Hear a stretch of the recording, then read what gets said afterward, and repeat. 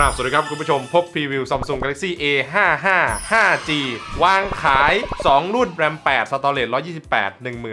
13,999 บาท แล้วก็ RAM 12 Storage 256 เนี่ย 15,999 บาท วางขายทั้งหมด 3 สี Awesome Ice Blue ก็คือสีฟ้า Awesome Lilac สีม่วงนะครับ แล้วก็ Awesome Navy สีกรมนี่ตระกูล Awesome มาอีกแล้ว แล้วก็จะมี A35 5G สีสวยมาก คล้ายๆ iPhone 15 เลย แต่ว่าพอเป็น A55 เนี่ย มันจะแบบเหลือบสวยงามกับไฟนะ มันจะเป็นเหลือบฟุ้งฟิ้งดีนะ โปรโมชั่นตั้งแต่วันที่ 11 ถึง 31 มีนาคม 2567 เนี่ย ฟรีทันที เพิ่ม RAM แล้วก็ Storage อัพจาก 828 เป็น 12256 ได้ตัว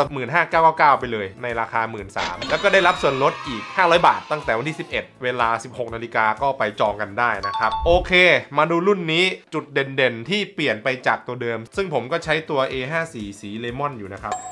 ก็มีความต่างอยู่นะโดยเฉพาะสีสันเนี่ยมีความเหลื่อมๆเข้ามานะครับตัวเดิมจะเป็นสีเดียวเลยก็เหลื่อมกับแสงปกติ แต่ตัวใหม่เนี่ยจะเป็นแบบเหลื่อมนะเห็นไหมมีแบบสีฟ้าสีชมพูเนี่ยเหลื่อมสวยงามจริง ๆ รูปทรงเนี่ยเปลี่ยนไปแล้วก็วัสดุที่ใช้พรีเมียมมากขึ้น ขอบเนี่ยเป็นขอบบนเหมือนเดิม แต่ว่าจะมีความไม่โค้งอะคือแบบตัดแบนอย่างนี้เลย เป็นขอบแบบเหลี่ยมๆตัดแบนขนานแบบนี้เลยนะครับตัว A54 เนี่ยมันจะมีมนๆเห็นไหมเนี่ยมนๆเวลาจับมันจะมนๆนะครับตัวนี้ตัดแบนแล้วก็ปัดเสี้ยนมาแบบนี้เลยนะครับคือเวลาเราจับเนี่ยมันจะมีความแบบมีเส้นๆอยู่ตรงนี้นะพอปัดเริ่มมาข้างๆปุ๊บนี่ก็จะเป็น Key Island คือแบบเขาจะนูนตรงปุ่มขึ้นมา เวลาเราลากมือผ่านเราจะรู้เลยปุ่มมันจะอยู่แนวเนี้ยแล้วเวลาเราจับตรงนี้มันก็จะถนัด เพราะว่าตัวเดิมเนี่ยมันจะทำนูนเนาะข้างเครื่องมันจะนูน ตัวนี้เนี่ยมันจะทำแบบขนานลงไปเลยเนี่ยขนานตรงนี้ลงปุ๊บไปเลยแล้วเวลาเราจับก็เป็นอย่างนี้นะครับ ซึ่งงานประกอบก็ผมว่ามันให้ฟีลลิ่งของการจับแบบตัวแพงๆเลยนะของซัมซุงเลยนะครับนี่แค่หมื่นต้นๆเนาะคือซัมซุงเวลาออกแบบมันเนี่ยเขาจะออกแบบไม่ได้แบบหวือหวา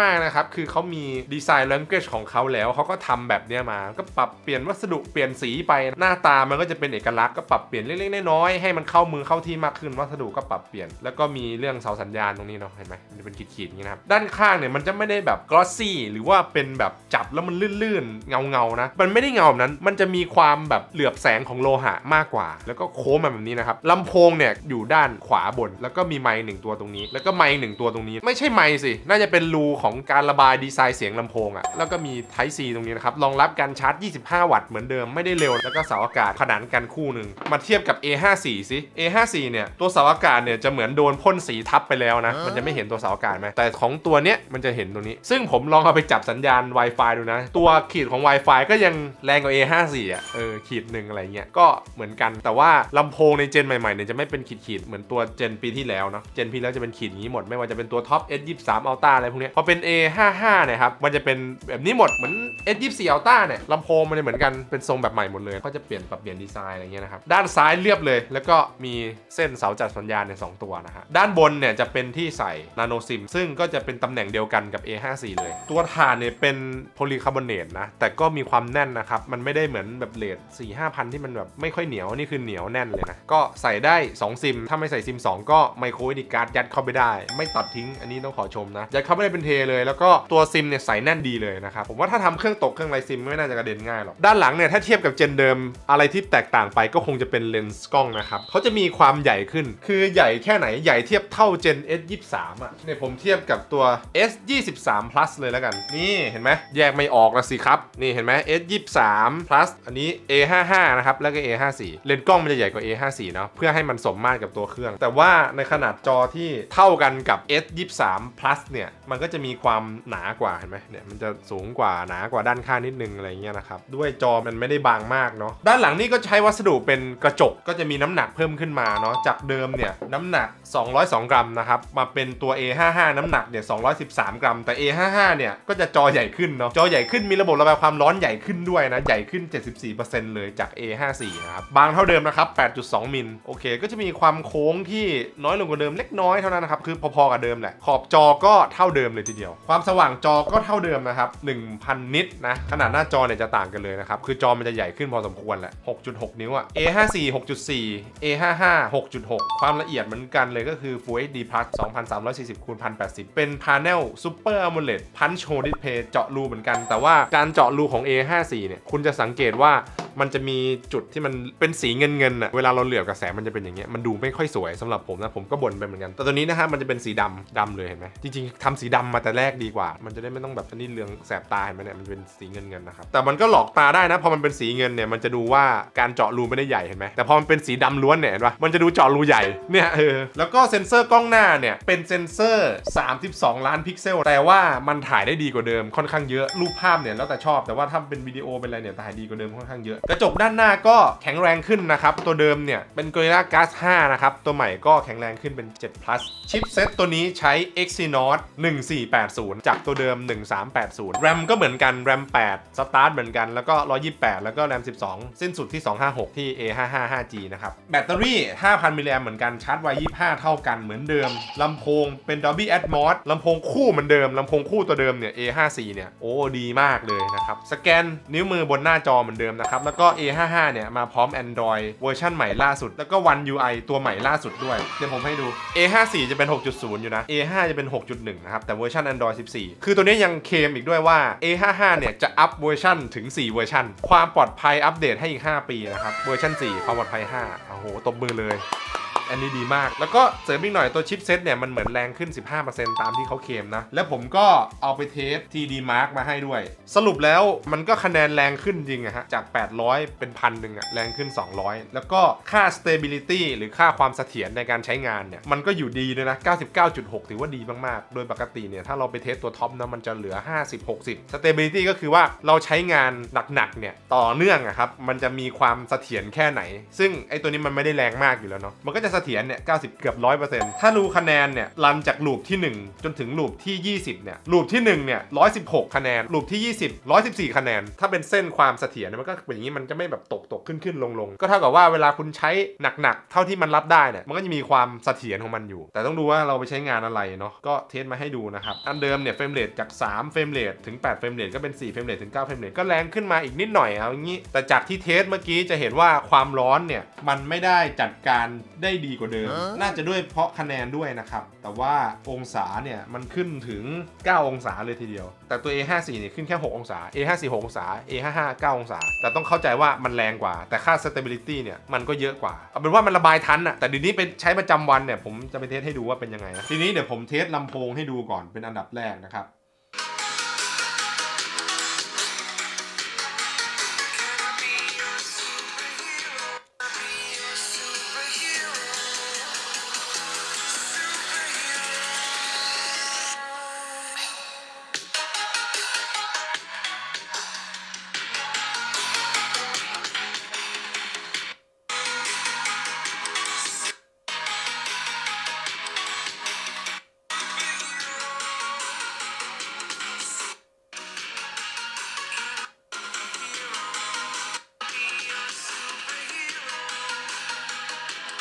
แยกแทบไม่ออกแทบจะเหมือนเดิม แต่เหมือนว่ามิติมันไม่ซ้อนกันอะแบบว่าเครื่องดนตรีมันไม่ตีทับกันมั่วถ้าเราฟังเพลงดังๆแบบนี้นะครับเหมือนมันดีกว่านิดหน่อยนะ ก็ถือว่าโอเคอยู่แล้วอะพอมันเป็น One UI 6.1อะครับผมรู้สึกว่ามันลื่นอะโดยปกติถ้าเราใช้ Exynos นะที่มันอยู่รุ่นกลางๆมันจะมีอาการแบบกึกกึกกักกักกึกกึกยิกเนาะเวลาเราเล่นอย่างเงี้ยเดี๋ยวผมก็ลองโหลดพวก Facebook อะไรพวกนี้มาเล่น คือมันก็ไม่ได้แบบสมูทร้อยเปอร์เซ็นต์นะครับแต่มันลื่นแบบว่า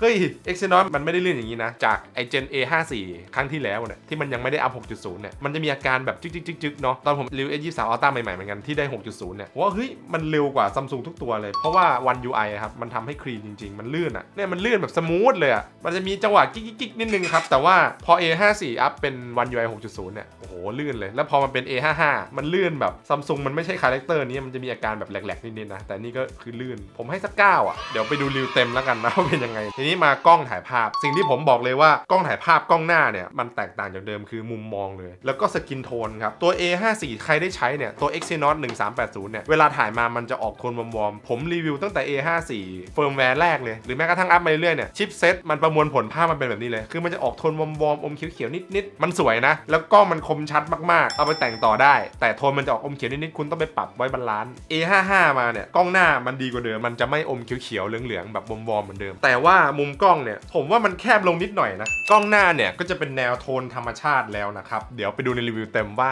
มันสามารถแต่งอะไรได้บ้างนะ เดี๋ยวมันจะเป็นรีวิวไปแล้วนะครับโหมดภาพบุคคลเนี่ยก็ไม่สามารถที่จะปรับเอฟเฟกต์ได้เหมือนเดิม ก็คือถ่ายก่อนไปปรับทีหลัง อย่างเช่นเราถ่ายปุ๊บเราก็ค่อยไปปรับทีหลังนี่ก็เปลี่ยนเอฟเฟกต์พื้นหลังแบบนี้ได้นะครับเป็นสตูดิโอก็ใส่ไปเอาหน้าขาวแค่ไหนคือมันปรับกันได้อะขอแค่มันคมก็พอ มันคมแล้วไฟล์มันดีมันเอาไปทำต่อได้ อันเดิมเนี่ยมันจะโอ้โหทำไมหน้าเหมือนกิ้งก่าคางคกอะไรครับนี้โหมดกล้องนี่ก็มีพอๆกันเลยโหมดกลางคืนก็ถ่ายได้ทั้งกล้องหน้ากล้องหลังเลนส์ ultra wide เลนส์หลัก มันครบทุกเลนส์เลยนะครับ เหมือนกันถ่ายได้เหมือนกัน ตัวนี้เนี่ยจะมีโหมดบันทึกคู่มาให้ ซึ่งก็จะเหมือนตัว S24 และ S24 Plus คืออะไร มันสามารถบันทึกกล้องหน้ากล้องหลังเนี่ยพร้อมกันได้นะครับนี่แล้วก็ ขยายได้เลื่อนได้อะไรเงี้ยนะแต่ว่ามันจะบันทึกได้แค่ Full HD 30 เท่านั้นนะครับเราจะไปเหมือดที่หลังก็ได้อะเดี๋ยวผมทำให้ดูเผื่อคนยังไม่ได้ดูอันใหญ่ มันจะอัดให้เราเห็นทั้งคู่เลยนะครับกล้องหน้ากล้องหลังเนี่ยแต่ว่าเวลามันจะแยกไฟล์มาเห็นไหมแต่ว่าข้างมุมมุมเนี่ยมันจะเขียนว่าบันทึกคู่จะมีกล้องหน้าและกล้องหลังที่เราบันทึกเมื่อกี้แต่เราเห็นคู่หนึ่งทีนี้พอเราเอามาปรับแต่งกดปุ๊บมันก็จะมีขึ้นมาทันทีว่าเป็นวิดีโอคู่หรือวิดีโอเดี่ยววิดีโอคู่ปุ๊บมันจะเมิดอัตโนมัติเลยซิงเสียงซิงอะไรให้อย่างเงี้ยนะเพราะว่ามันมีซอสของมันอยู่แล้ว แล้วก็สามารถที่จะเลื่อนได้เห็นไหมเลื่อนของเราได้ จะปรับแบบไหนคู่หนึ่งแบบนี้แบบนี้เวลาไปถ่าย vlog อะครับท่องเที่ยวเนี่ยเราก็ได้ทั้งกล้องหน้ากล้องหลังเลย หรือว่าเราจะเข้าโปรแกรมตัดต่อเอาไว้ซ้อน footage เล็ก ๆ ก็ได้เวลาเราไปถ่ายมาเนาะเป็นหน้าเราก็มีเป็นข้างหลังก็มีอย่างเงี้ยไมค์เนี่ยอัดมาดีมากๆอยู่แล้ว เรื่องนี้มี pro video มาให้ด้วย ตัวเก่าก็มี pro video มาเหมือนกัน ISO ก็สามารถปรับได้ถึง3,200เหมือนเดิม ก็มีมาให้เหมือนเดิมนะโหมด pro video พวกนี้นะครับกล้องหลังเนี่ยก็มี ultra wide 12 ล้านพิกเซล f 2.2 เหมือนกัน คาดว่าตัวเดียวกันแต่ว่า skin tone detail ถ่ายมาต่างกันแน่นอน แล้วก็เลนส์หลักเนี่ย 50 ล้านพิกเซล แต่ตัวใหม่เนี่ยเขาบอกว่าเป็น Sony Lens แล้วก็มีระบบ OIS และผมก็ได้ไปลองมาใหม่ด้วยดีกว่าเดิมด้วยระบบกันสั่นเวลาเราซูมไปเยอะๆเนี่ยกล้องหลังเนี่ยก็อัดได้แบบ 4K นะครับ จริง ๆ แล้ว detail พวกเมนูเนี่ยมันจะแบบคล้ายๆเหมือนๆกันนะครับเนี่ยมีลายน้ำมีนี่เหมือนกัน FPS อัตโนมัตินี่ติ๊กออกนะ ถ้าติ๊กใส่เนี่ยเวลาเราถ่าย 60 ถ่ายอะไรเงี้ยมันจะหนืดๆภาพมันจะกระตุกนะครับเอาออก จุดเด่นของซัมซุงคือสามารถเปิดกับปิดได้นะครับหลายๆแบรนด์เนี่ยเปิดให้อย่างเดียวปิดไม่ได้ เวลาเราจะไปถ่ายแบบอยากได้มุมมองกว้างขึ้นไม่ให้มัน crop หรือว่าอยากถ่ายโดยที่ไม่มี wobble ก็คือไอภาพซ้อนๆเวลาถ่ายตอนกลางคืนอะมันจะเป็นซ้อนๆซ้อนๆซ้อนๆมันจะเบลอๆแล้วก็กดออกได้นะแต่ว่าเราก็ต้องถือให้มันนิ่งขึ้น HDR อัตโนมัติก็มีเวลาถ่ายวิดีโอพวกนี้นะครับกล้องหลังเนี่ยเดี๋ยวผมลองถ่ายให้ดูสักหนึ่งรูปแนวสมจริงครับ เหมือน S24 เลย character เป็นประมาณนั้นนะครับซัมซุงในยุคใหม่จะเป็นแบบนี้หมดนะครับ อ่า ultra wide เนี่ยคมเปี๊ยะเลยนะครับเลนส์หลัก ultra wide เนี่ยโทนมันจะเหมือนกันเลยมันจะเน้นแบบมันจะเน้นธรรมชาติสมจริงนะครับแบบนั้นเลย แล้วก็มีเลนส์ macro มาให้ อันนี้ผมไม่รู้ว่าทำไมซัมซุงยังใส่มาอีกนะ คือมันไม่ค่อย work เท่าไหร่ครับเลนส์ macro ถามว่าสีมันดีไหม มันก็ดีแต่ในปีกับเก่ามันดีไงตั้งแต่ A52s A53 เนี่ยมันดีพอมัน A54 เนี่ยผมเริ่มว่าไม่ค่อยได้ใช้ประโยชน์ใช้เลนส์หลักแล้วซูม crop เอาดีกว่า โทนดีกว่าเยอะนะครับเนี่ยอย่างเงี้ย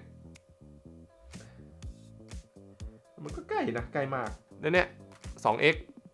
อันเนี้ย macro มิติ คือผมไม่รู้ว่าใส่เลนส์ macro มาทำไมอะ มันไม่ได้ปรับเปลี่ยนอะไรมากเนาะ มันก็ใส่เลนส์ macro มาอะไรอย่างเงี้ยนะครับ และซัมซุงก็ยังมีพวก Auto Blocker อย่างเดิม อย่างเคยที่เคยมีให้มา ก็เข้าไปที่ ความปลอดภัยตรงนี้ได้นะครับ นี่นี่คือ Auto Blocker เราไปเปิดได้ที่ตัวบล็อกอัตโนมัติ แล้วก็กดบล็อกไปเลย ตัวนี้มันจะปิดอยู่เรากดบล็อกไปนะครับ คือมันจะบล็อกพวกการตรวจสอบของแอป เวลาเราโหลดแอป หรือว่ามันติดตั้งแอป มาจากไหนก็ไม่รู้เนี่ยมันจะไม่ให้ติดตั้งเลยนะครับแล้วก็บล็อกแอปจากแหล่งที่มาที่ไม่ได้รับอนุญาตนะครับแล้วก็บล็อกคำสั่งจากสาย USB เวลา USB แบบมีไวรัสเสียบเข้ามาอย่างนี้นะครับพวกคอมพิวเตอร์พวกอะไรเงี้ยแล้วก็พวกปกป้องแอปส่งข้อความรูปภาพที่สงสัยว่ามีมันแวร์ก็การ preview ประมาณนี้นะครับไปดูรีวิวเต็มกันได้นี่คือเรามาเทียบกับ A54 5G ให้ดูว่าเป็นยังไงนะครับ เอาละครับวันนี้การ preview A55 5G และ A54 เปรียบเทียบต้องขอลากันไปก่อนครับ สวัสดีครับ